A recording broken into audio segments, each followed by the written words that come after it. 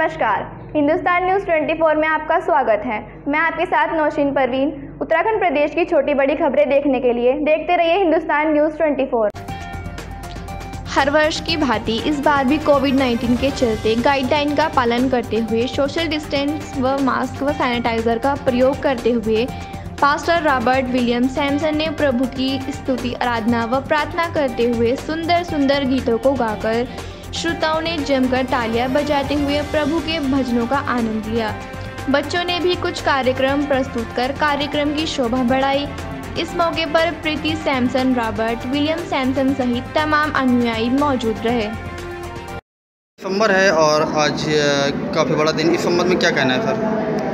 मैं लोगों से ही कहूँगा कि 25 दिसंबर जो है उसको हर्ष और उल्लास के साथ बनाएँ और 25 दिसंबर के विषय में ज़रूर जानें कि 25 दिसंबर आखिर क्यों मनाया जाता है। जैसा कि लोगों का विश्वास है 25 दिसंबर ये ईसाइयों का त्यौहार है, लेकिन मैं बताना चाहता हूँ 25 दिसंबर मनुष्य जाति के उद्धार का दिन है।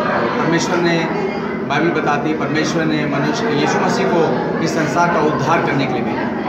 इस नगरवासी क्षेत्रवासियों के लिए क्या कहना है? मैं ये कहूँगा कि हमें यीशु मसीह के उपदेशों को जानना है, उनका पालन करना है और आपस में प्रेम से मिल मिलाप के साथ अपने जीवन को व्यतीत करना